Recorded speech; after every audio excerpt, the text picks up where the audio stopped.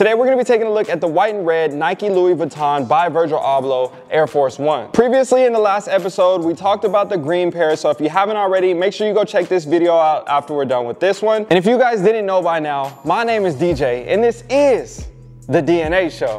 On this channel, I love talking about sneakers, giving you guys in-depth reviews, especially on rare sneakers like this, and helping you guys turn your hobby into a hustle. If you haven't already, consider subscribing and joining the fam. We're on the road to a million subscribers, and you could be the next one to get us there. So with all that being said, let's go ahead and crack this box open real quick and see what this shoe is looking like. As you can see right here, you have an all-over monogram print embossed into the cardboard with a Louis Vuitton branding all throughout, and no Nike branding or tags on any part of the box. Now opening the flaps in the front, you have a white Nike swoosh right here on the inside of the top of the lid, and then you have an additional pair of white laces that say Lacet, and then you have a red pair of laces as well. A white Nike swoosh monogram print right here. It says Louis Vuitton Nike Air, and then two white dust bags that come along with this to go for each shoe as well. On the bottom of each dust bag, you have a white leather tab right here that says Louis Vuitton Air, and then you got the paper right here that goes inside the box.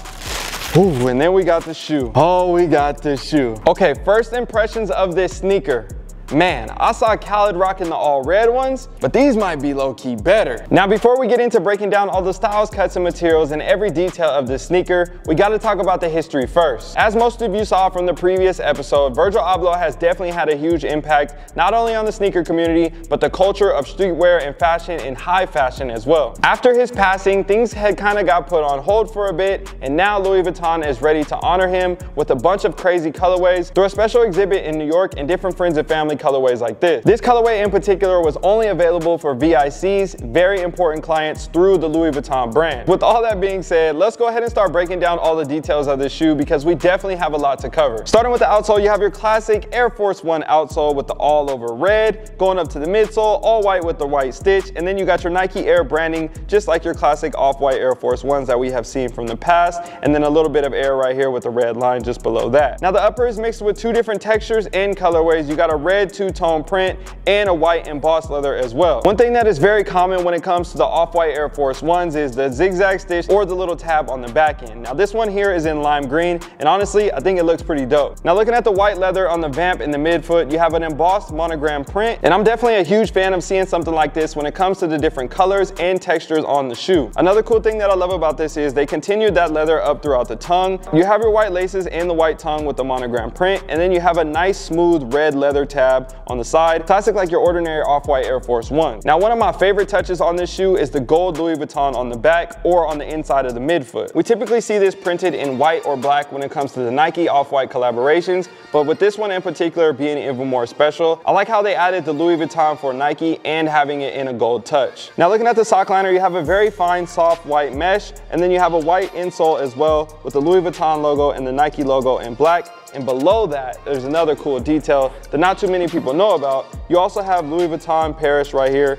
engraved into the outsole. And then underneath that, you have a monogram Louis Vuitton print all throughout the bottom of the foot. So when it comes to attention to details, craftsmanship, and overall presentation, again, this is another crazy shoe that I think a lot of people would appreciate no matter the value or if they like the colors or not, they just have to respect it simply because of how well they did presenting the shoe. So I'm sure as you guys can tell, I clearly love this sneaker. I love red and white shoes. I think these would go great in my rotation. Unfortunately, this is not a size 13 and I'm not spending 50 racks. So we'll see what you guys think about it. I posted a poll on my Instagram story to see what people think if it's fire or trash. If you haven't already, follow me on IG so you can participate in the polls and see all the results here on the channel. This is what they say. Again, another landslide. Everybody loves this shoe. I completely understand. There's gonna be a couple people that may not. But when it comes to the vast majority of the people, I understand why people like them. Even if it wasn't a Louis Vuitton collaboration, it's a red and white shoe. It looks really good and you can put a lot of cool outfits together with it. Not talking about the dollar value and everything that comes along with that end. And speaking of the dollar value, as of right now, these shoes are astronomical and we might just have a chance to actually get our hands on them, but I know for a fact it's gonna be very slim and a lot of people are gonna be going going after them. The shoe is gonna retail for $2,750 plus taxes. That's gonna be probably just over $3,000. And that's probably gonna weed some people out, but at the end of the day, I know a lot of people are gonna be willing to throw their money at these shoes simply for investment purposes, wanting to flex on the internet, or to have a nice premium shoe, or have something crazy that nobody else has got, or to pay tribute to Virgil Abloh. You name it, there's gonna be a lot of different reasons why people want this shoe. And I can only imagine what it's gonna be like when that day comes and they announce that they're gonna be giving these to the public. Now, I'm not 100% sure on the exact colorways that will be released into the public, and I'll try to make sure that I keep you guys updated as we go, and I'll try to give you guys as many reviews as possible when we get all these different ones coming in and everybody finally getting pairs in hand. And I would love to see the whole collection put together someday. Maybe I can be the first one to bring that to you guys. I don't know, we shall see. So if you guys enjoyed this video and you wanna see a review of the green pair, I made sure I did this for you guys yesterday. If you missed it, I'll have it linked for you guys at the end of this video or link down below in the description. Yo, if you enjoyed this video and want to grow your collection or make extra money on the side, I built a VIP mastermind that will teach you everything that I've learned about growing my sneaker collection over the past 15 years. This will also give you access to the DNA fam in my VIP community where we talk about investing outside of sneakers. And don't worry, if you don't plan on joining the VIP community, it's okay. I also set up a private DNA fam community that gives you access to all the behind the scenes looks from the studio and multiple chances to win free sneakers and gear from weekly and monthly challenges. So all you need to do is click on the link down below in the description or the first link pinned in the comment section. That will get you set up and into the community. I'm excited to see you guys on the inside.